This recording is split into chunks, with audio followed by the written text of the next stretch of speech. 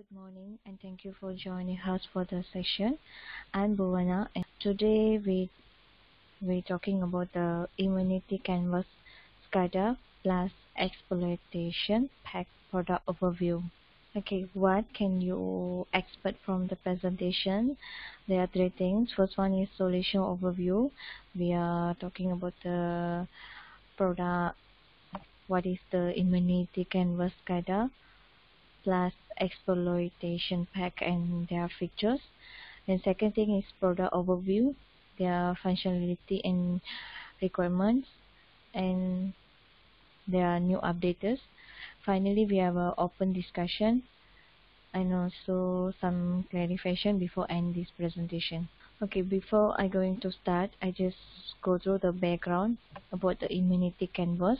The immunity canvas uh, is one of the world leading pen testing tool. The commercial software well known begin uh, offensive in nature cross platform adopted while by pen testers to conduct exploitation testing as usual with a extensive range of the canvas exploitation pack add-on um, to platform industry or project scope specific pen testing and also while I talk by the vulnerability and expert research for expert development and testing. And also SCADA is uh, one of the such of add-on third-party product. What is SCADA plus exploitation pack? SCADA exploitation pack is uh, it's an attempt to collect all publicly available SCADA availability in one export pack and also SCADA and relate vulnerabilities are very special because due to the their sensitive nature and possible hack impact involved to successful exploitation. And also SCADA system are also hard to punch so even all vulnerabilities are actual. What is SCADA? SCADA means supervisory control and data acquisitions. Uh, it's a system uh, or software um, and also it's a type of the um, I already mentioned the software application program for process control. SCADA is a central control system with a consists of controller, network interfaces, input, output, and communication equipment, and also software. SCADA system are using to monitor and control the equipment in the industrial process, which includes manufacturing, production, development, and fabrication. Okay, there are the some alignments that allow industry organization to allow uh, to control industrial processes locally and or at remote locations to monitor, gather and process real-time data and also directly inter interact with the device such as sensor, valves, pumps, motor and more towards human mission interface which is the HMI software. And finally records events in into a log file the continuous slide about the architecture of SCADA. Okay, there are two types of architecture. One is is hardware architecture and another is software architecture. Generally, the SCADA system is a centralized system that monitor and control the entire area. Area. It's a pure software package that is a position, positioned on top of the hardware. So a superior system gathered data on the process and send them commands control to the process. The SCADA uh, is a remote terminal which uh, is also the known as RTU. The most control action are automatically performed by RTUS or PLCS. Okay, we go one by one. What is the hardware architecture?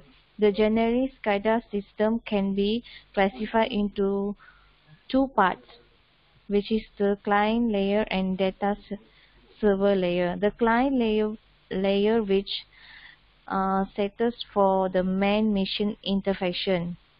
The data server layer, which is the data server layer, um, which handle most of the process data activities which the SCADA, uh, SCADA station refer to the server and its uh, components of the single PC and it's easier to the data server communicate with the device in the field through the process control like a PLCS or RTUS. The software architecture is uh, most of the servers use used for multi tasking and real-time database.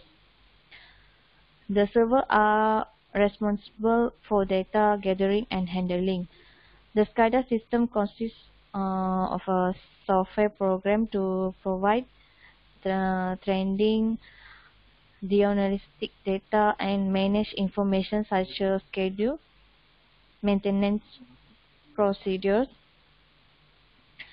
uh, and also logis logistic uh, information detail uh, for the normally for the particular sensor or machines and export system and troubleshoot uh, guides. This means uh, the operator can see presentation of the plants begin the control. For example, uh, alarm checking, uh, calculations, logging, and polling controls on the set parameters. Those are typically connected to the server. The continuous slide about the SCADA system. There are different types of SCADA system that can be considered as a SCADA architecture of four different generations. The first generation is monolithic or earlier SCADA system. The second generation is distributed SCADA system. The third generation is network SCADA system. And fourth generation is Internet of Things technology SCADA system. Just go one by one. First generation, which is the monolithic or earlier SCADA system, means uh, it's for mini computer user so earlier for computing the SCADA system in the earlier times during the times time of first generation monolithic SCADA system were developed wherein the common network service were not available. Hence these are independent system without having any connective to other system. And also all the remote uh, terminal unit sites will connect to a breakup mainframe system for achieving the first generation SCADA system which was used in case of failure of the primary primary mainframe system. Continuity is second generation which is the distributed SCADA system. In the second generation, the share sharing of the control function is distributed across the multiple system connect to each other using local area network, which means LAN. Hence, this were terminated as distributed SCADA system. Those individual stations were used to share real-time information and common processing for performing control tasks to trip the alarm level of possible problem. And also they are the cost and size of the station were reduced compared to the first generation system as each system of the second generation was responsible for performing a particular task with reduced size and cost but even in the second generation system and also the network protocol were not standardized. The continuity is the third generation which is the network SCADA system. The current SCADA systems are generally networked and communicate using wide area network, which is the WAN, systems over data lines of phones. Thus, those systems use Ethernet or fiber optic connections for transmitting that data between the nodes frequently. The third generation SCADA system use programmable logic controls, which means PLC for monitoring and uh, adjust the routine uh, flagging operation only in case of major decision requirements. Also, the first and second generation uh, SCADA system are limited to single site networks or single building called as sealed system. In indoor system, we cannot have any risk compared to the third generation SCADA system which are connected to the internet causes causing the security risk. They will be, there will be server uh, parallel working distributed SCADA system under a single super, supervisor in network architecture. The fourth generation is Internet of Things technology in SCADA system. Uh, in fourth generation, the infrastructure cost of the SCADA system is reduced by adopting the Internet of Things technology with the commercially available cloud uh, computing. The maintenance and integration is also very easy for fourth generation compared to the earlier SCADA system.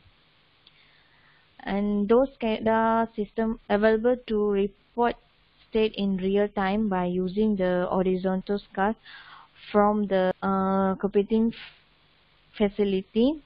Those more complex control algorithms can be implemented which are practically to implement on traditional PLCS.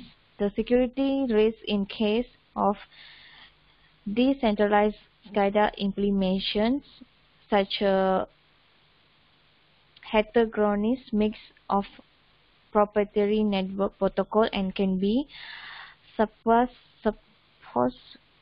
using the open network protocol such as PLCS in the Internet of Things which will provide comparable and manageable security boundary. The next slide about the application of SCADA. In the application of the SCADA, SCADA system are used for monitoring a variety of data like flows, currently uh, voltages, pressures, temperatures, water level, and etc. In various industries, if the system detect any abnormal condition from any monitoring data, the, then the alarm at the central or remote sites will to trigger it for alerting the operation through HMI. Power system can be defined as constitute of power generation, uh, transfer transformation and distribution. All those sectors are need to need to monitor regular for improving the system uh, efficiency. Those those the application of SCADA in power system improve the overall efficiency of the system by providing the supervision and control over the generation, transformation, and distribution system. SCADA in the power system network increase the system reliability and stability for integrate grid operations. And continually we're going to see the SCADA security issue specific types of threats to SCADA network issue into four categories. The first one is malware, the third one is terrorist, and the fourth one is insider error. Internal malicious individuals or groups that are intent or gaining access to key component in SCADA network. Those anchors, uh, hackers could also be parts of government plan has a type of cyber warfare will involve viruses and other programs not necessarily targeting SCADA network. While the, they may not be specifically targeting those networks, malware still pose to the operation of key infrastructure. The third one is terrorists. Hackers may want want access for malicious intent, but they typically motivated by sordid gain. Terrorists are typically designed to cause as much damage as possible to critical systems of particular service. The final one is insider error, which is workers are a common causes of SCADA network issues entire internationally due to internal work issue or more commonly operator error the most issue in the category are due to poor training or carelessness. Now we come back to our topic, the five features of the Canvas SCADA Plus Exploitation Pack, which is the growing value 350 exploit currently, trying to cover most of the public SCADA vulnerabilities uh, zero day for SCADA, focus on industry software and hardware environment. And finally we have a weak points analysis. Just go one by one the features the first one is growing value which is 350 exploits currently due to low real system punch rank export are actual for longer time. The second feature is there to cover most of the public SCADA vulnerabilities, including all old and newly discovered bugs. The third feature is zero day for SCADA. The SCADA Plus pack speaks to this new trend by providing its customer with exploit for both public vulnerabilities and zero-day vulnerabilities in SCADA system. The fourth one is focus on industrial software and hardware environment, which is not SCADA, but all industrial PCs, smart clips, and industrial protocol are received. The final one is weak point analysis, which is many industrial things suffer from weak weaknesses like hard-coded password and etc. Okay, next slide about the frequency updated. This one is latest updated about the SCADA Plus Exploitation Pack in this year 2020 February 29 version 1.99 SCADA pack things uh things board 2.4.1 remote code execute one day. Mitsubishi Mitsubishi Electronic Smart RTU, INEAME RTU, unauthorized unauthorized frequent configuration downloaded and finally InTouch HMI version 8.1 mobile access path and we almost done for today. Um, if I have any question or any inquiry regarding this product you may drop an email at espin uh, which is info at espincorp.com so we will answer based on the requirements